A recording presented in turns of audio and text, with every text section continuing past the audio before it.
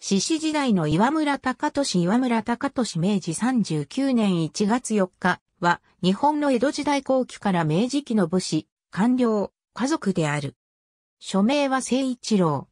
すくも領主伊賀家に仕えた岩村秀俊の三男で岩村道俊、林雄三の弟。異界君等は、ジュニー、君二等、男爵。美術評論家、美術史家の岩村徹は、長男、次男は建築家の竹越健三。土佐畑郡に生まれる。藩校の文部館で蘭学や法術を学ぶ。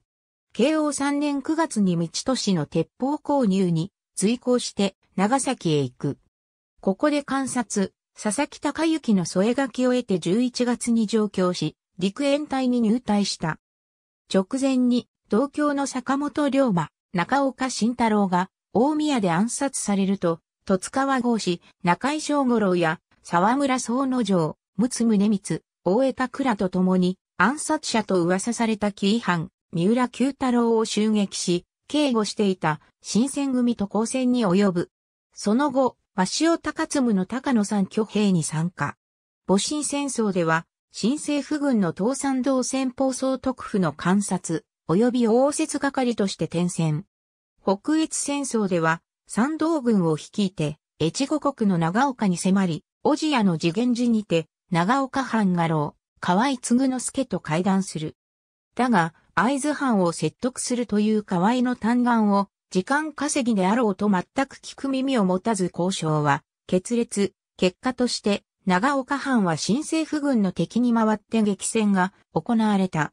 明治2年には、戊辰戦争の功で、衛星六高200国を得た。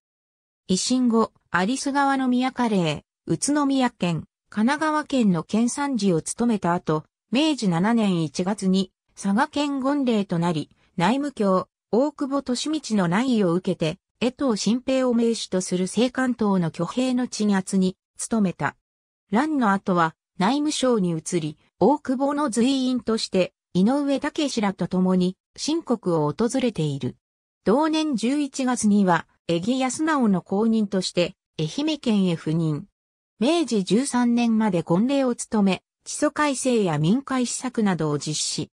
以後は内務省の大書記官、石川、愛知、福岡、広島の県令や知事を歴任、明治25年に貴族院議員となり、明治29年6月5日には男爵に除された。明治31年7月30日、近警官志向に任じられた。晩年は京都市の一条堀川に住み、議会開催中のみ上京していた。長男の岩村徹が男爵位を継いでいる。人格的評価については、起用法編様々な意見がある。北越戦争時に山形有友が小千谷の新政府軍本営に着いた際、岩村は贅沢な朝食を地元の娘に給仕させており、激怒した山形は土足のままその前を蹴り上げたという。長州人の岩村への評価は、キョロマであり、木戸高義も同様の評価をしている。長岡藩画廊、河合継之助は、本気で中立論を展開し、山形有友か黒田清隆との会談を希望していたが、岩村はこれを一周している。後年自伝では、途中で従うようになった新州各藩の家老は、平凡な人材ばかりで、河合についても、経歴、人物を知らなかったため、時間稼ぎをしているだけだと思ったと実戒している。そもそも、長岡藩の他の家老たちは新政府への標準派が多く出奔した者すらいた。また、長岡藩は意地になって潰さねばならぬほどの規模ではない、小藩であった。この岩村の熟慮を書いた判断が長岡藩を王列藩同盟側へ追い込むこととなった。その結果、北越戦争における新政府軍の想定外の大損害、一度陥落させた城を奪われるという失態という記録となる。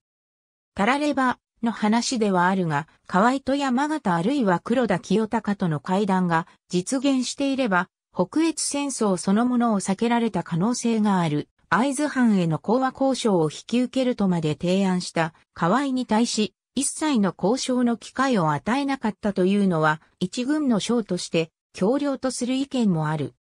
しかしながら、内部の意見統一もできていなかった長岡藩の他藩との折衝実績のない家老の河合に、列藩同盟との調停が可能であったかは疑問の残るところである。佐賀県言例としても、ドナルド・キーンの無能で横平な岩村の抜擢は最悪の選択だったと言えるとの厳しい表がある。キーンの明治天皇によれば、岩村は佐賀藩士島義勇の前で佐賀藩士を侮辱し、彼を反乱側へと追いやったとしている。もっとも木戸孝義は、この人選は大久保利道の佐賀を決起に追い込むための策略であると看破し、後に大久保に対する人格批判への根拠として、久米国武に漏らしている。後に赴任した愛媛県では、積極的に旧藩主を登用し、民権権令、平民長官などと呼ばれた。末広鉄長は、当時の功績、人望を高く評価している。ありがとうございます。